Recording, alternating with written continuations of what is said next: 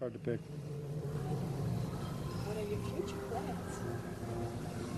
Hmm. Well, Future's looking good. yeah. Well, you know, we it's it's funny because when we first started collecting these items, it was because we loved Elvis. Hmm. We had no plans Yeah. for an exhibit. You know, we had no plans to do this, you know, and travel the world. We just love Elvis, you know, and wanted to, something that Elvis owned, and one thing led to another. And the thing is, when you have so much that you start accumulating, you have to start realizing that this is more than just a record collection or a magazine collection. These are artifacts. These are part of Elvis history, and Elvis history is so.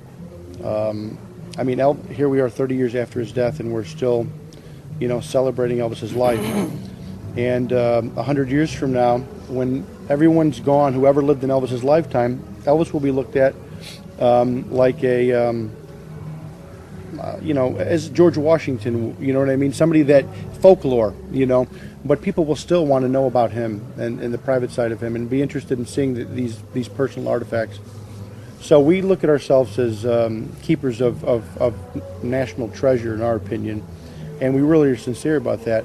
But part of the fun is owning it, but the other part is sharing it with people who appreciate it the way we do nothing uh, thrills us more than to see people come through and admire what we have stored in our bank vaults and in our display cabinets at home for all these years. So to us, it's very fulfilling. So our plans are to, you know, try to take this. You know, here we are finally out of the country with it, and since we've been here, we've gotten uh, requests from many countries all over the world to bring this exhibit to their country. So we're hoping to possibly we're going back to the United States from here, but we, we hope to come back and do a world tour. But uh, you know, in 2004, we we formed the corporation and got everything together. In 2005, we went to uh, Dallas, Texas State Fair. We didn't know what to expect. We kept saying, "God, I hope people come and you know enjoy it." We had over 110,000 people come through, and that's that that was like Amazing. a shock to us, and, and that told us, you know what, people want to see this. So when we got the word that we were going to come here, I cannot tell you how excited and honored we were to come over to Germany and bring Elvis here. It, it just, you know, we, we've had people go through the exhibit, and when they were finished, they come to thank us and they have tears in their eyes. Um, there was a gentleman, uh, a photographer, who took famous photos of the Berlin Wall, and they're now in uh, Washington.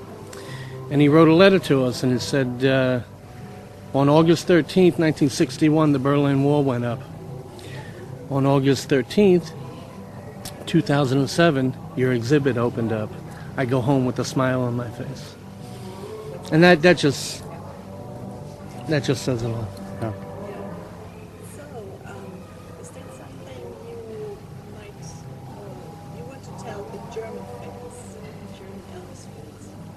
Is there anything you want to Oh, I'd like to tell you that uh, I'd like to tell everyone out there that that um, we've never felt a more warm welcome. yeah, absolutely. You know, we, you know, I've been here one other time before without the exhibit. You know, and that's a little bit different because you know, people are coming in and we're we're getting interaction from people.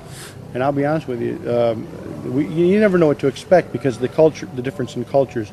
You know, some some cultures are more enthusiastic, some are more reserved, and uh, you know, um, we respect them all. But when we got here, we've never met the, the people here are the nicest people. I mean, it, it's incredible.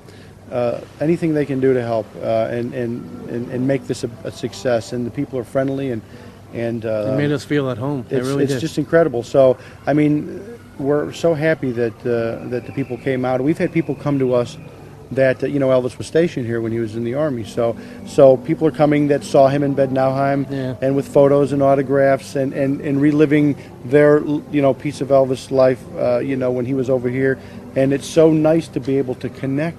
Um, with fans here, you know, because as an American, uh, we sometimes take for granted what we had. Absolutely. And we come here and we realize Absolutely. that we, we have it all right there, and there are people on, on the other side of the globe who love Elvis just as much and don't have the access to a lot we do.